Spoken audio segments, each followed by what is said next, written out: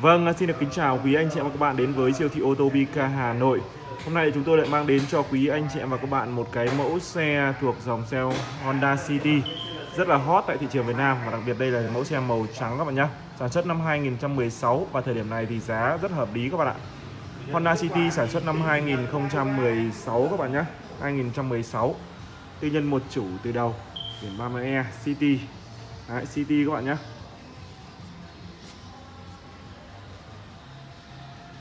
Honda City các bạn ạ. Siêu thị còn khá nhiều những cái mẫu xe. Chúng tôi đang ở cơ sở 1 các bạn nhé Đây, Honda City này Đó. con này là phiên bản CVT các bạn nhé Honda City CVT Honda City thì có khá nhiều phiên bản trong đó là có bản top bản uh, CVT các bạn nhé. Đấy, ngày xưa thì có thêm bản MT nữa. Đấy, MT đây các bạn nhìn này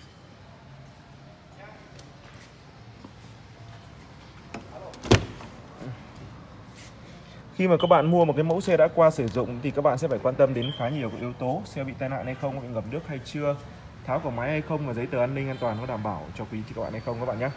Đấy những cái đường keo chỉ này rồi những cái uh, những chi tiết ví dụ cốp sau trước thì thì các bạn cũng phải quan quan tâm rất là kỹ. Mức tiêu thụ nhiên liệu của nó thì được ngoài đô thị là 4,9 lít trên 100 km trong đô thị là 7,3 lít trên 100 km và đường uh, kết hợp là 5,8 lít trên 100 km các bạn nhé. Rất đẹp. Đấy, cốp sau đây. Con Honda City này là cốp sau rộng rãi nhất trong tất cả những cái mẫu xe cùng phân khúc các bạn nhé. Rộng rãi nhất đấy. Thời điểm này giờ có giá khá là hợp lý rồi. Và gần như là bây giờ nó giống như con ờ, uh, rim thái ngày xưa đấy. đấy giống như con rim thái ngày xưa nó cũng không có giá nhiều nữa đâu các bạn nhé. Đấy. Đây cốp này.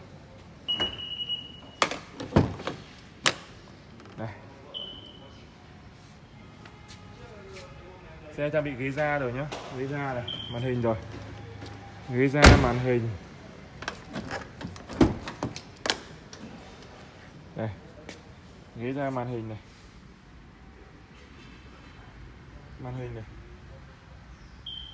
Trang bị ghế da màn hình này. À, trang bị uh, cái ờ, uh, đèn nổ thông minh các bạn thứ nhá. Đèn nổ thông minh rồi các bạn nhá. À, engine startup đi ở hơn 4 vạn cây thôi. Đấy, đèn nổ thông minh đi hơn 4 loại cây thôi. Cái này thì uh, đang chào bán giá khá hợp lý nhá.